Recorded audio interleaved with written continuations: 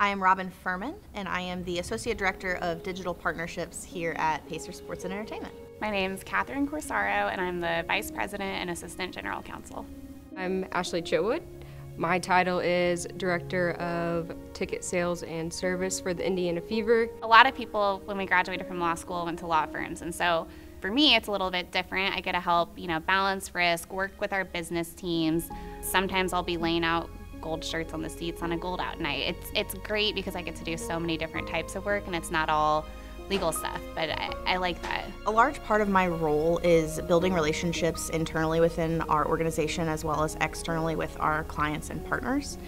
I do a lot of this in our digital space, on our website, our app, our social media, um, and I make sure that our partners get all the love they deserve. You know, this is still very new, like women being in sports and moving up into leadership roles.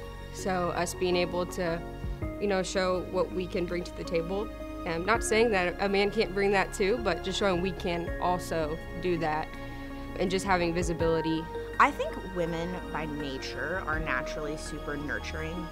It's a huge, a huge thing to be nurturing and to be empathetic and to bring all of those soft traits into my job and they help me excel in what I do. Yeah, I mean, I'm a fiance outside of work, I'm a sister, A daughter, I'm an aunt, so uh, a lot of different hats, I guess, in that sense, but also just I like to be outside, I love to read.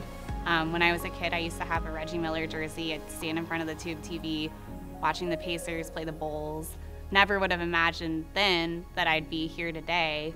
But it's so cool to grow up watching the team and now working for them. I mean, what an amazing experience.